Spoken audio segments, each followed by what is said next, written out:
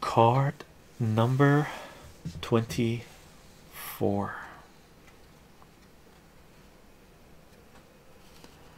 Theodore Shackley.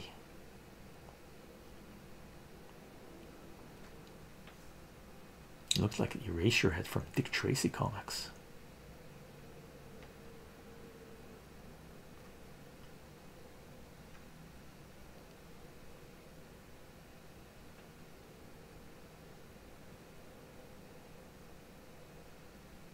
Theodore Shackley.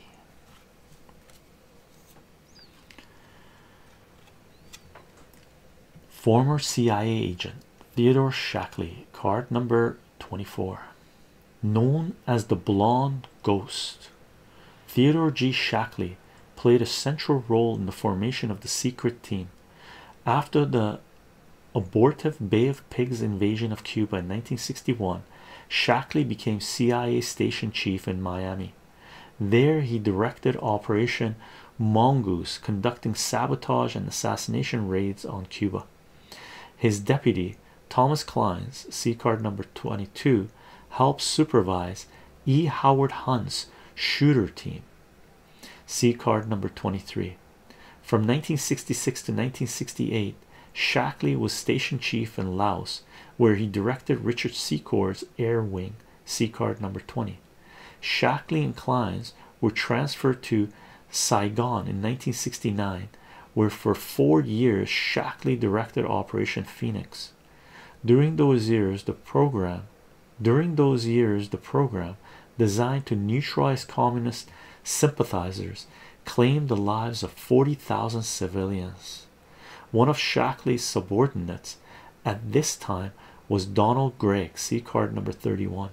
Shackley's next to last CIA post was as commander of worldwide covert operations, working under George Bush from 1976 to 1977. See card number 32. Theodore Shackley retired from the CIA in 1979 and he served on the transition team which planned Ronald Reagan's entry into the White House. His involvement in covert operations did not end with his retirement, however.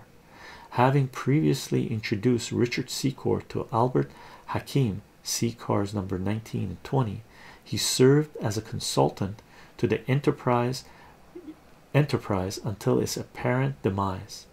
In 1984, he took part in the Manucher Ghorbanifar plan to trade arms for hostages hostage for hostage CIA agent William Buckley see card number 25 and 26 recently Shackley has been a lecturer on unconventional warfare.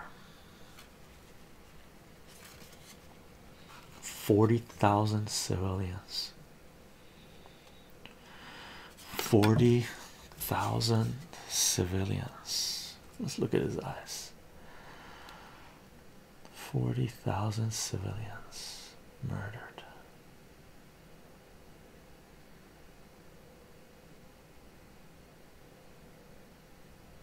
and Allah God says this piece of shit died in 1975 of cancer.